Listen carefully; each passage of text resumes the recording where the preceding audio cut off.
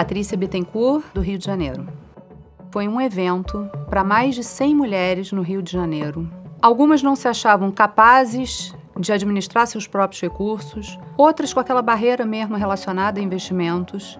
E a gente, com esse evento, junto com a XP, a gente conseguiu quebrar essa barreira com as mulheres que se tornaram grandes clientes, assumiram a sua vida financeira. Essas mulheres se tornaram protagonistas das suas vidas.